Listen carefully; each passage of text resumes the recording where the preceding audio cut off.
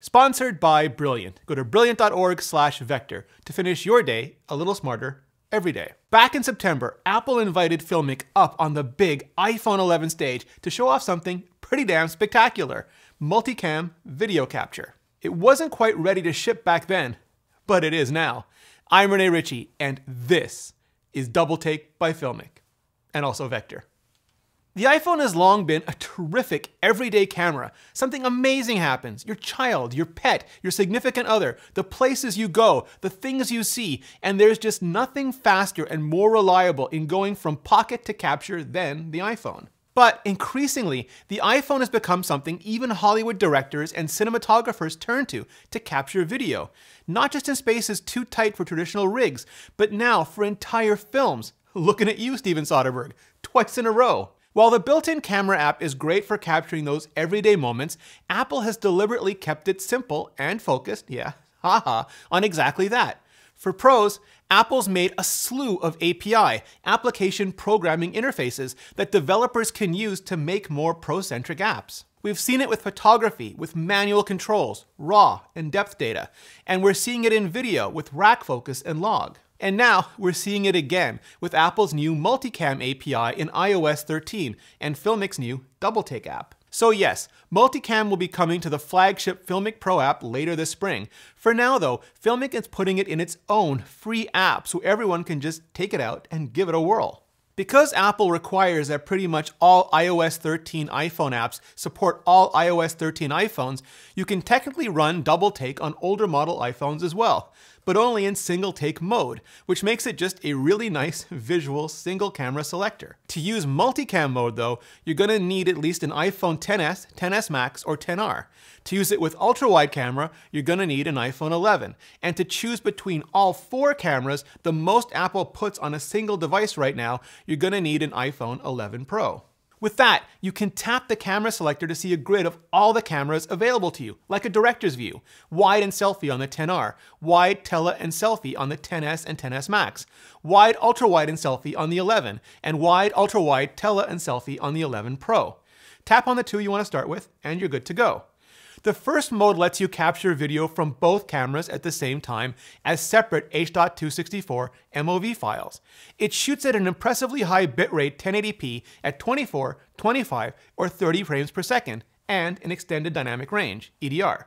Why no 4K 60?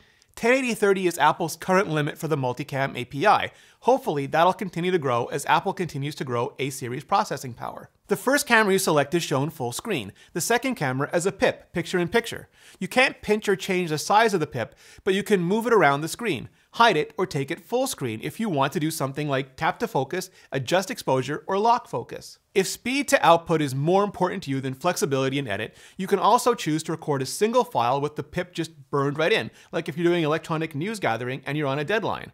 Or two up, side by side, or top and bottom if your video is vertical. With front and back cameras selected, you can do things like capture a subject and your reactions to it at the same time, perfect for vlogging or event coverage. Or you could set it up between two subjects during an interview and capture both sides of a conversation, like for a video podcast.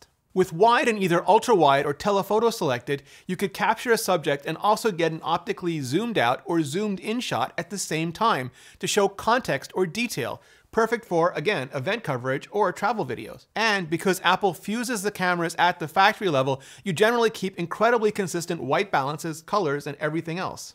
And that's basically the crux of Double Take, to give you access to twice as many cameras as you have devices. For a single person, it means doing by yourself what used to require grabbing a friend.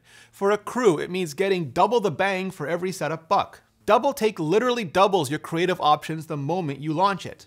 Yes, I'd love to see 4K 60, but as dual camera baby steps go, this is a pretty good leap.